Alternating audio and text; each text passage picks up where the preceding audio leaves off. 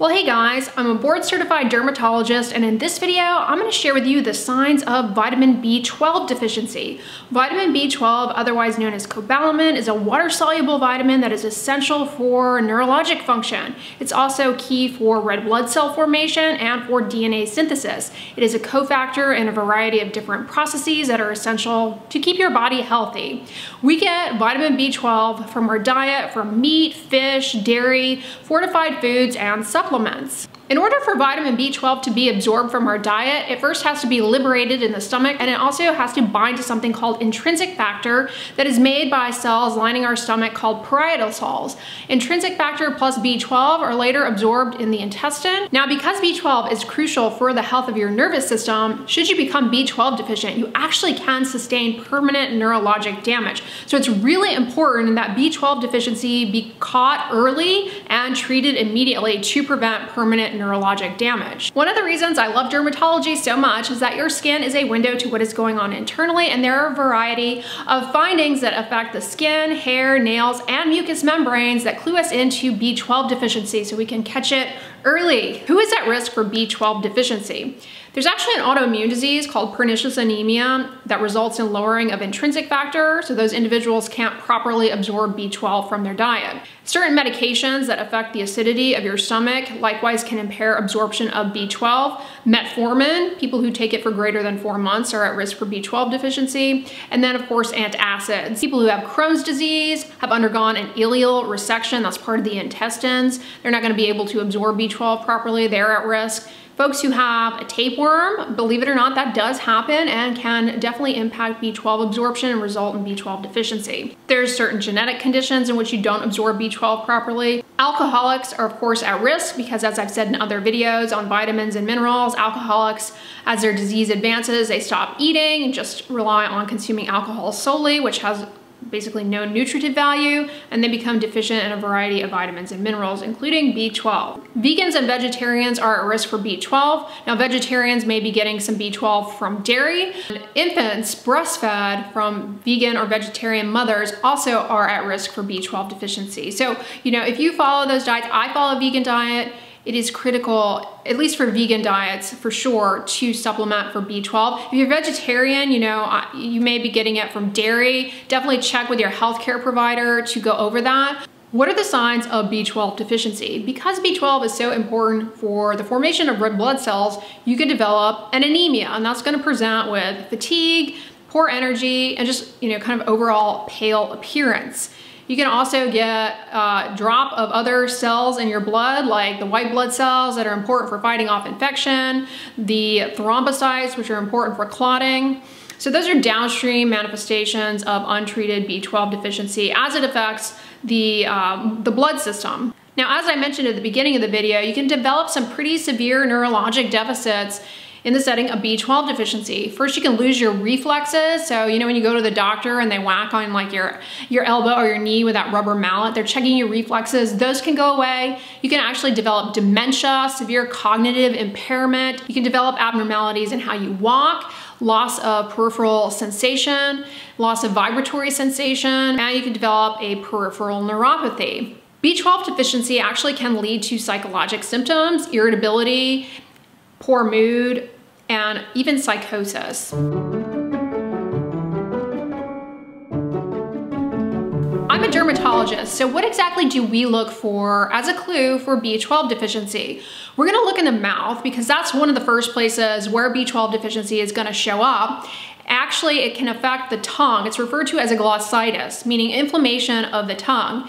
First, you get these linear, painful red patches that coalesce into diffuse atrophy of the tongue. Essentially what that looks like is a very smooth, shiny red tongue because the taste buds start to atrophy and it presents with symptoms of pain, it can obviously impact the taste. You can lose sense of taste or have abnormalities in taste as the taste buds atrophy. You can get an itchy, burning tongue, different little tingling sensations. If the patient happens to wear dentures, they may no longer be able to tolerate them due to mouth pain. Beyond the tongue, you can have dry mouth as a whole and dry, cracked, painful lips. Outside of the mouth, probably one of the more textbook skin findings of B12 deficiency is actually hyperpigmentation localized to the backs of the hands and the backs of the feet, kind of over the knuckles. And in some cases, you can have more diffuse hyperpigmentation. That hyperpigmentation can also affect the palms and appear in the creases on the palms uh, as well. Hyperpigmentation can affect the nails too, something called melanonychia.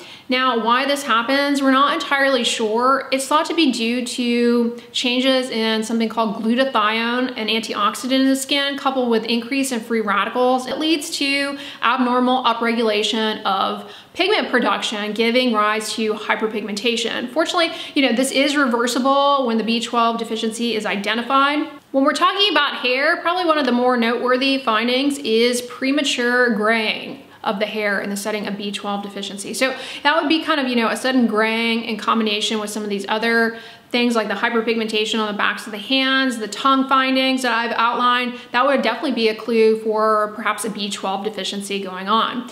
Fortunately, the skin and, and mouth manifestations that I've outlined here, they are reversible when the B12 deficiency is treated, but the neurologic symptoms, they are not. So that is why it is critical to identify the B12 deficiency immediately, treat it, correct it to prevent these severe neurologic um, downstream effects. So all these signs and symptoms of B12 deficiency that I've outlined here, they're actually not specific for B12 deficiency. So how do you actually nail down the diagnosis? Well, you can check a serum B12 level. And Serum B12 greater than 400 picograms per mil is considered normal. Anything less than that is gonna make you worry about B12 deficiency. Now, people who take in good B12 but can't absorb it, maybe because they don't have that intrinsic factor, well then we're gonna start going down a pathway of checking different lab values and uh, we're gonna maybe check some antibodies to see if you know you have an autoimmune disease that's attacking that. So that would be kind of a more advanced workup of B12 deficiency. And it can be treated by either intramuscular B12 or oral high dose oral supplementation. But yeah, you don't have to be vegan to be B12 deficient. A lot of people take metformin, a lot of people take uh, you know, what's called a proton pump inhibitor or a H2 blocker, like things like Tagamet, omeprazole. These things can impact your ability to absorb B12 from food. Whether or not you need to take a B12 supplement, you know, if you're vegan, you obviously need to. You may need to if you're vegetarian, depending on how much dairy you consume or fortified foods.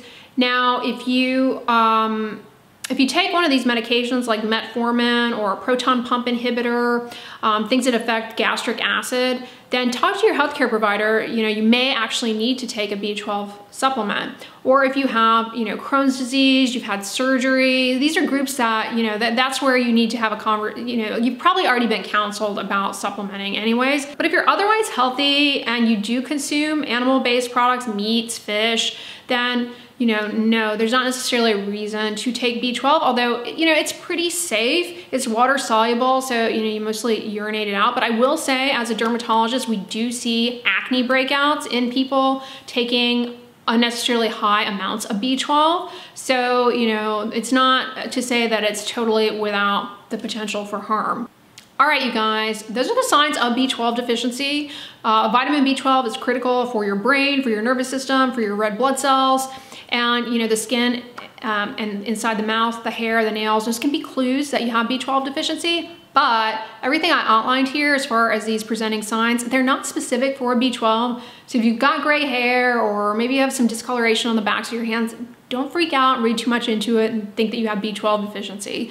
Um, you know, as long as you're otherwise healthy, you know, take it for what it is. Um, hopefully knowing the risk factors for B12 deficiency is informative to you guys. I hope this video was educational. On the end slate, I'm gonna put my video on the skin manifestations of vitamin C deficiency. If that is of interest to you, I will also link it in the description box along with my video on the signs of vitamin D deficiency, the signs of zinc deficiency. So check those out if that is of interest to you. But if you like this video, give it a thumbs up, share it with your friends, and as always, don't forget, sunscreen and subscribe. I'll talk to you guys tomorrow. Bye.